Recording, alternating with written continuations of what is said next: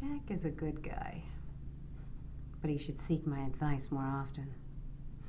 I'd tell him how to run this company.